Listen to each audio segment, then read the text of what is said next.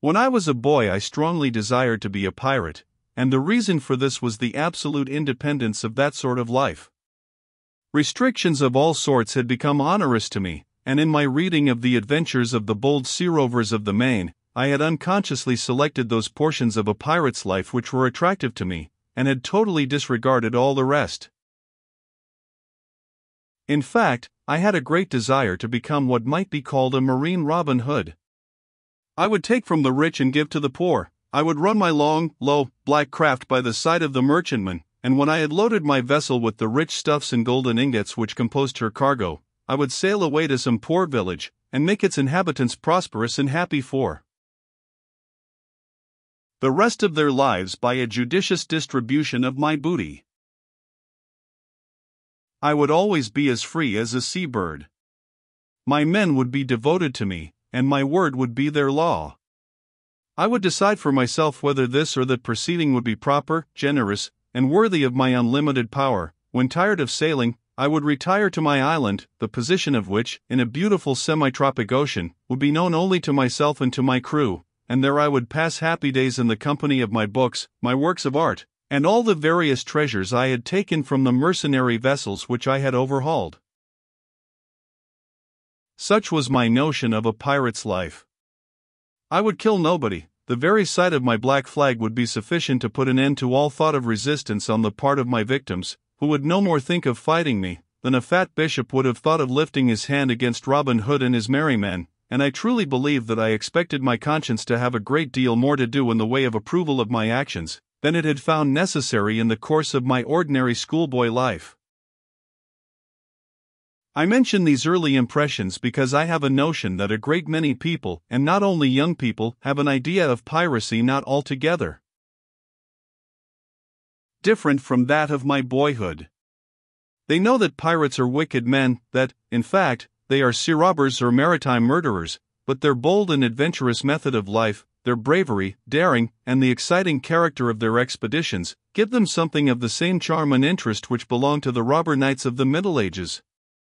The one mounts his mailed steed and clanks his long sword against his iron stirrup, riding forth into the world with a feeling that he can do anything that pleases him, if he finds himself strong enough.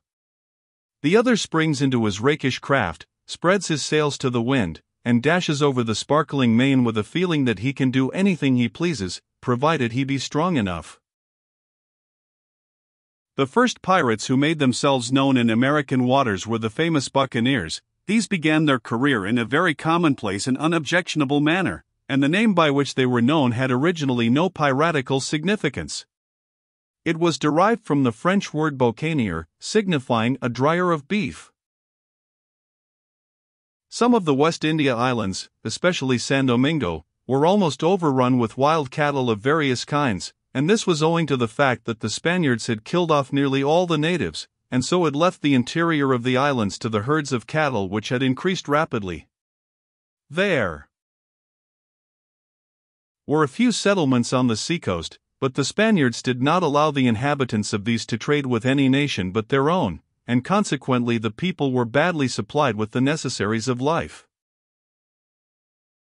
But the trading vessels which sailed from Europe to that part of the Caribbean Sea were manned by bold and daring sailors, and when they knew that San Domingo contained an abundance of beef cattle, they did not hesitate to stop at the little seaports to replenish their stores. The natives of the island were skilled in the art of preparing beef by smoking and drying it, very much in the same way in which our Indians prepare jerk meat for winter use. But so many vessels came to San Domingo for beef that there were not enough people on the island to do all the hunting and drying that was necessary, so these trading vessels frequently anchored in some quiet cove, and the crews went on shore and devoted themselves to securing a cargo of beef, not only enough for their own use, but for trading purposes, thus they became known as beef dryers, or buccaneers. When the Spaniards heard of this new industry which had arisen within the limits of their possessions, they pursued the vessels of the buccaneers wherever they were seen, and relentlessly destroyed them and their crews. But there were not enough Spanish vessels to put down the trade in dried beef. More European vessels, generally English and French, stopped at San Domingo. More bands of hunting sailors made their way into the interior. When these daring fellows knew that the Spaniards were determined to break up their trade, they became more determined that it should not be broken up, and they armed themselves and their vessels so that they might be able to make a defense against the Spanish men of war. Thus, gradually and almost imperceptibly, a state of maritime warfare grew up in the waters of the West Indies between Spain and the beef traders of other nations, and from being obliged to fight, the buccaneers became glad to fight, provided that it was Spain they fought. True to her policy of despotism and cruelty when dealing with her American possessions, Spain waged a bitter and bloody war against the buccaneers who dared to interfere with the commercial relations between herself and her West India colonies, and in return, the buccaneers were just as bitter and savage in their warfare against Spain. From defending themselves against Spanish attacks, they began to attack Spaniards whenever there was any chance of success, at first only upon the sea, but afterwards on land the cruelty and ferocity of Spanish rule had brought them into existence, and it was against Spain and her possessions that the cruelty and ferocity which she had taught them were now directed. When the buccaneers had begun to understand each other and to effect organizations among themselves, they adopted a general name, the Brethren of the Coast.